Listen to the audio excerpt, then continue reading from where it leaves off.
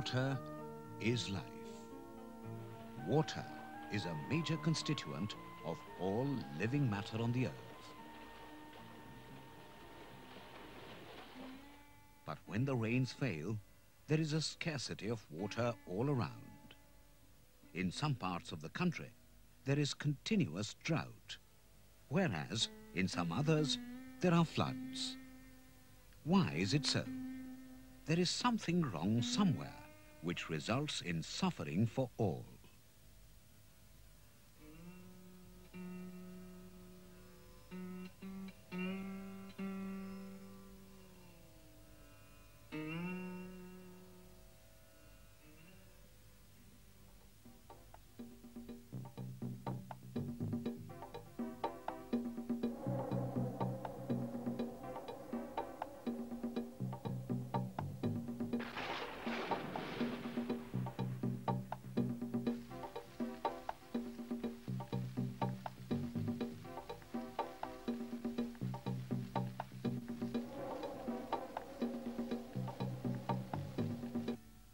Let us see how we waste water. Most of our water storage, use and conveyance methods are wasteful. Our canals waste a lot of precious water by seepage through their earthen beds and banks, which results in development of saline and alkaline soils.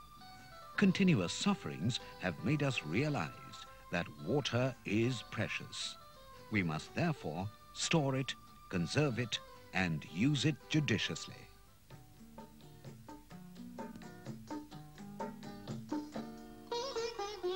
Nature gives us plenty of water through the melting of snows and rains. But we are not good managers. We use only 10% of it. The rest goes down to the sea.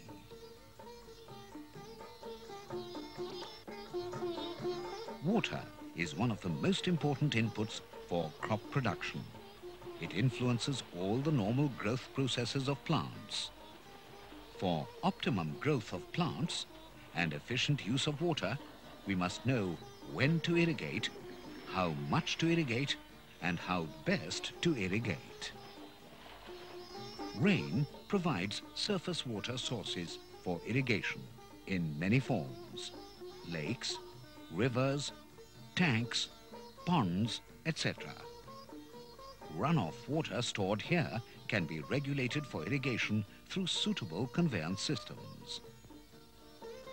A part of rainwater percolates below the water table and adds to the groundwater reservoir. Free-flowing fountains, like artesian wells, are an outlet for excess water stored underground. Tube wells also draw water from underground sources. Dug wells store most of the groundwater which can be lifted for irrigation using electric or diesel pumps.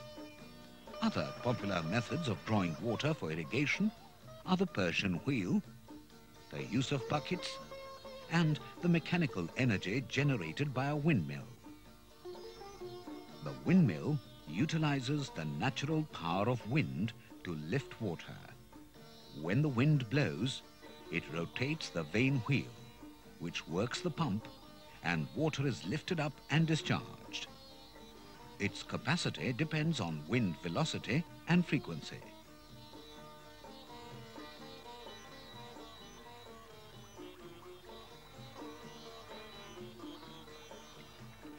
Let us see how water is wasted.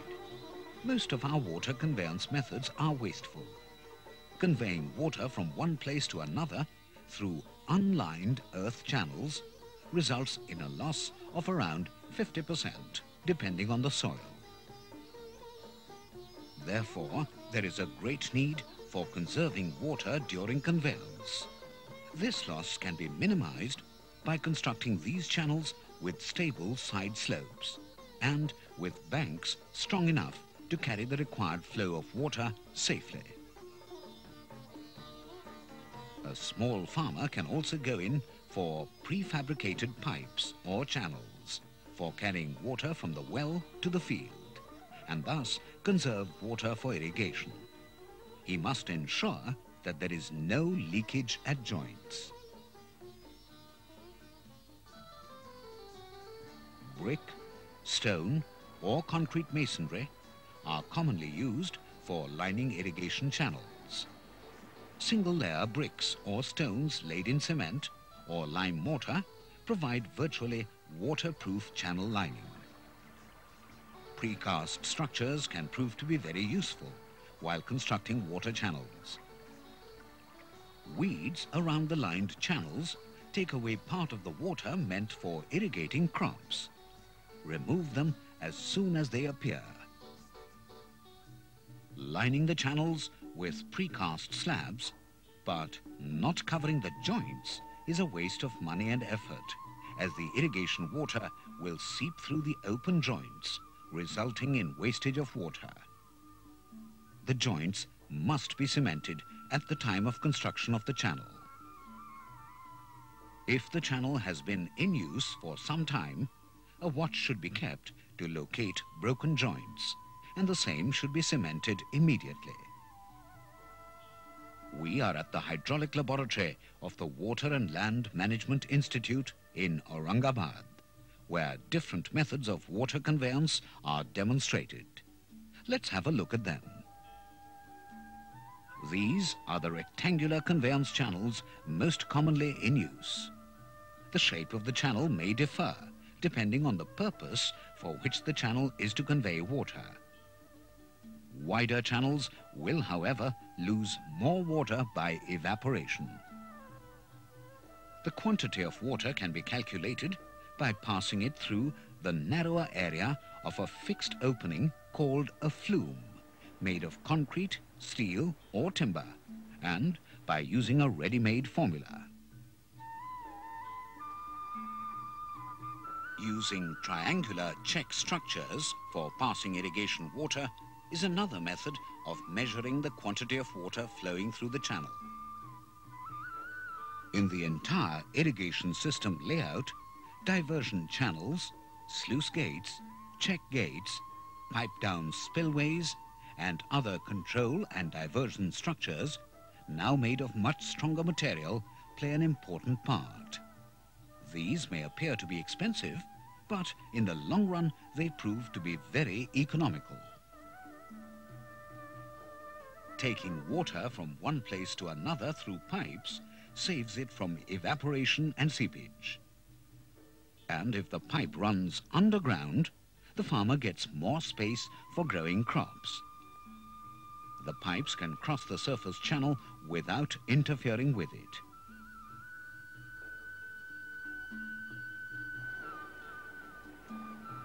The water thus carried can be stored in some conventional place like a tank for use in the field as and when required.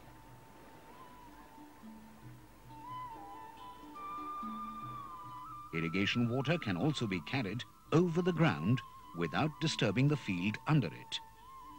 This is a temporary structure, but a permanent structure like this, or at a little greater height, can be useful.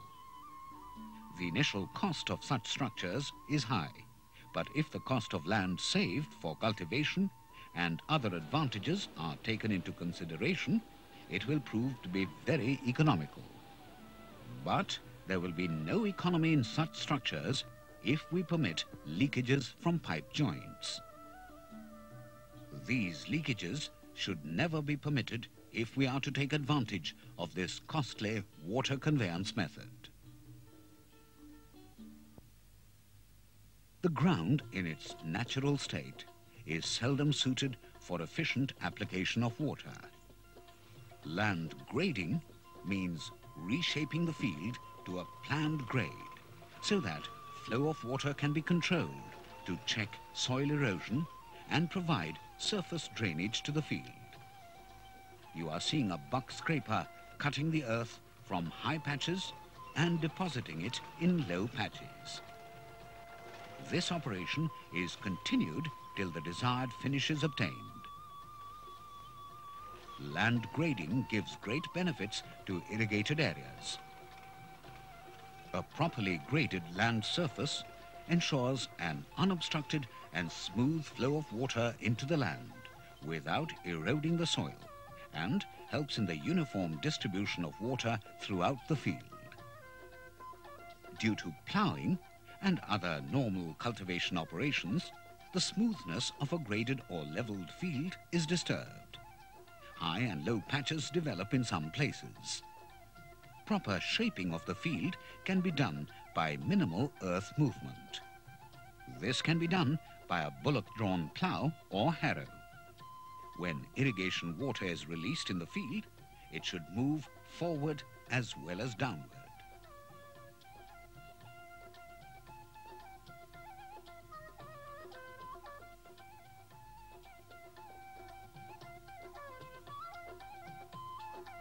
A tractor can also do the job very efficiently. If the field does not have proper smooth shape and has high and low patches, the forward movement of water is restricted. More water accumulates in lower patches and water may not reach the higher patches. As a result, crop growth is not uniform. To overcome these drawbacks, land shaping becomes necessary.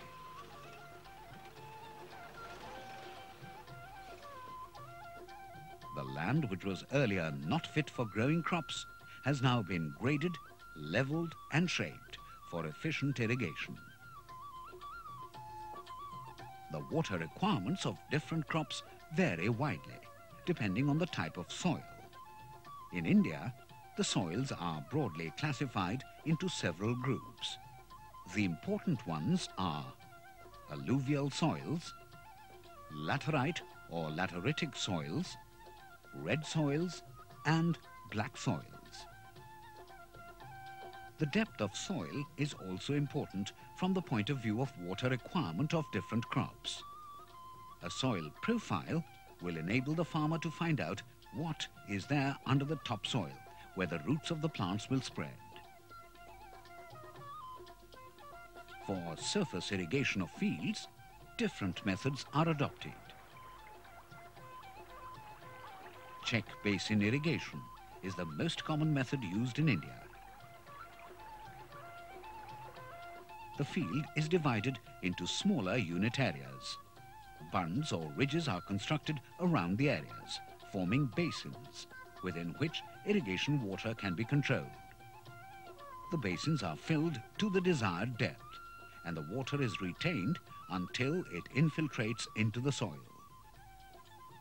Furrow irrigation is used for all cultivated crops planted in rows, like maize, sorghum, sugarcane, cotton, tobacco and groundnut. The most popular method of irrigation is border irrigation. The field is divided into a number of long parallel strips called borders that are separated by low ridges. Siphon tubes are useful in conveying water over the channel banks into the field. The central feature of border irrigation is to provide an even surface over which the water can flow down the slope with an almost uniform depth. Each strip is irrigated independently.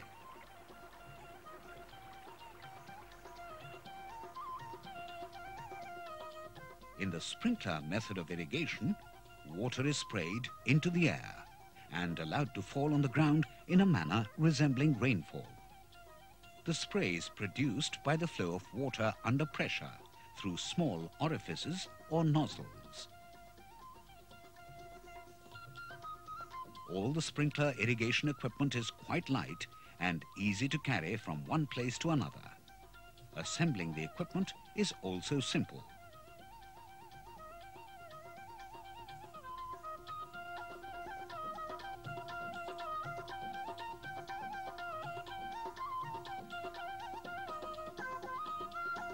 Sprinkler irrigation can be used for almost all the crops except rice and jute. By selecting the right size of nozzle, maintaining the desired operating pressure, and keeping proper spacing between sprinklers, the crop will receive efficient and uniform irrigation, which will suit the infiltration rate of the soil. Drip irrigation is one of the latest methods of irrigation. In this method, the water is applied to precisely the root zone. The plants are thus watered frequently with a volume of water appropriate to the level of their consumption. Conventional losses, as by deep percolation, runoff and evaporation are thus avoided. The system applies water slowly to keep the soil moisture within the desired range for plant growth. Crops like banana, grapes, papaya, guava and other fruit trees and vegetables respond well to drip irrigation. Experiments are in progress to use ordinary plastic tubes for drip irrigation, which will further reduce the cost of having this system in your field.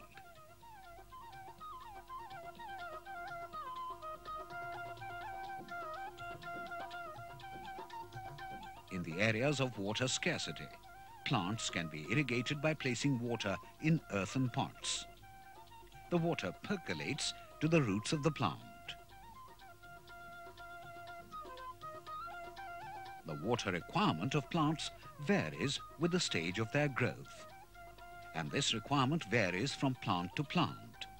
Generally, the plant needs less water when it is young, and when it is shooting, booting and earing, its water need increases. As it approaches maturity, it does not need as much water for further growth.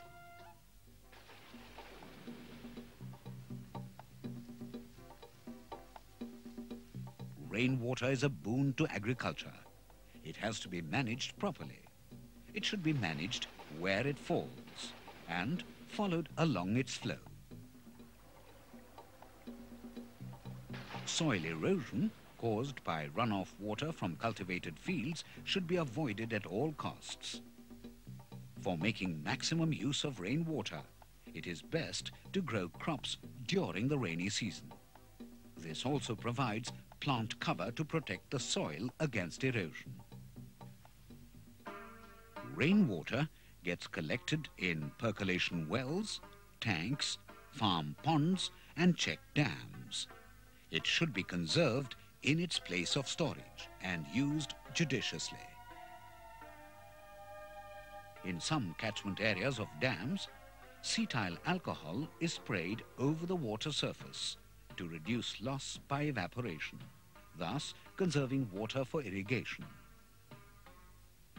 In some other places, loss by evaporation is reduced by shifting water from smaller places to a bigger and deeper reservoir, thus reducing the area of evaporation. The harvested water is recycled for use in agriculture.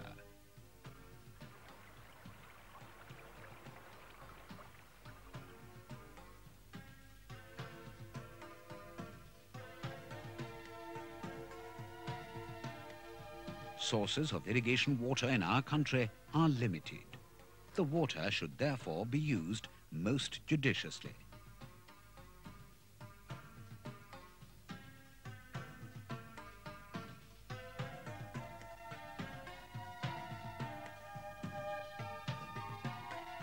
Conserving water for irrigation is of utmost importance to the farmer and the country. The water thus saved will help in irrigating many more hectares of land, giving additional crop yields leading to the prosperity of the farmer, his family and the country.